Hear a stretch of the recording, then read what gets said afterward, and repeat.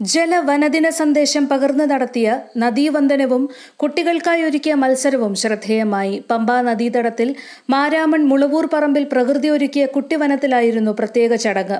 സമൂഹത്തെ ജലാശയങ്ങളെപ്പറ്റി മനസ്സിലാക്കിക്കുവാനും ജലാശയ സംരക്ഷണം ഉറപ്പാക്കുവാനും ഭാഷാ സമ്പത്ത് വർദ്ധിപ്പിക്കുവാനും ഒരുക്കിയ റിവർ ഗെയിമാണ് ഏറ്റവും ആകർഷണീയമായത്. റിവർ ഗെയിം ഇതിനെല്ലാം സഹായകമാകുമെന്ന് മാതാപിതാക്കളും കുട്ടികളും അഭിപ്രായപ്പെട്ടു.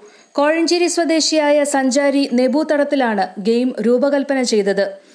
ഒരു കുനിപ്പിന്റെ പോരായ്മ വന്നു. ചില്ലക്ഷരങ്ങൾ അപ്പൊ ജോക്കർ അത് അക്ഷരമായിട്ടോ ചില്ലക്ഷരമായിട്ടോ ഉപയോഗിക്കാം.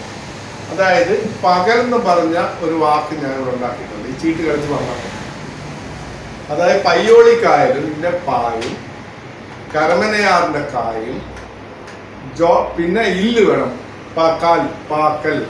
അപ്പൊ ഇല്ല് ഞാൻ എനിക്ക് കിട്ടിയപ്പോ ഒരു കളിച്ചു വന്നു. മാമമാർ എന്റെ കിട്ടി കളിച്ചു വന്നു. അമ്മ അത് കഴിഞ്ഞ് കുറച്ച് കഴിഞ്ഞപ്പം ഷാ കിട്ടി. അപ്പം മഷി എന്നുള്ളൊരു വാക്ക് കിട്ടി. ഷീ കിട്ടി. അപ്പം മാമമാറ് ഷിറിയാപ്പുഴ.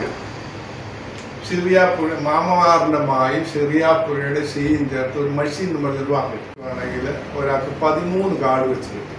പതിമൂന്ന് കാർഡ്. ഡിസ്ട്രിബ്യൂട്ട് ചെയ്യും പതിമൂന്ന് കാർഡ് വെച്ച്. ഒരാളുടെ കയ്യിൽ പതിമൂന്ന് കാർഡ് വെച്ച്. പതിനൊന്ന് നദികളുടെ നദികളുടെയോ കായലിന്റെയോ പേരെഴുതിയ കാർഡും രണ്ട് ജോക്കറുണ്ട്. ജോക്കർ എന്തിനാന്ന് ചോദിക്കാം? ഇനിയിപ്പം വാക്കുകൾ ഉണ്ടാക്കുക എന്നുള്ളതാണ് ഇതിന്റെ അടിസ്ഥാന ലക്ഷ്യം. വേറൊരു ലക്ഷ്യം എന്ന് പറയുന്നത് വാക്കുകൾ ഉണ്ടാക്കുക. അതായത് നദിയുടെ പേരിന്റെ ആദ്യ അക്ഷരം വെച്ച് വാക്കുകൾ ഉണ്ടാക്കുക. നദിയുടെ വെച്ച് എഴുതിയിട്ടുണ്ട്.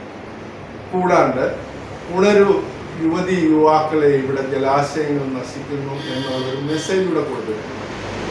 അതാണ് ഇത് ശരിക്കും ഈ മെസ്സേജ് പാസ് ചെയ്യുക എന്നുള്ളതാണ് ഇതിന്റെ ഉദ്ദേശം പിന്നെ ഇത് ഗെയിമായിട്ട് എങ്ങനെ കളിക്കുമെന്ന് ചോദിച്ചാൽ കുട്ടി കേരളത്തിലെ നാൽപ്പത്തിനാല് നദികളുടെയും മുപ്പത്തിയൊന്ന് കായലുകളുടെയും സവിശേഷതകൾ ഉൾക്കൊള്ളുന്ന തൊണ്ണൂറ്റിയഞ്ച് കാർഡുകൾ ശാസ്ത്രീയമായും കൗതുകകരമായും ചിട്ടപ്പെടുത്തിയുള്ളതാണ് റിവർ ഗെയിം. ഒരു സെറ്റ് കാർഡ് ഉപയോഗിച്ച് നാലു പേർക്ക് കളിക്കാം.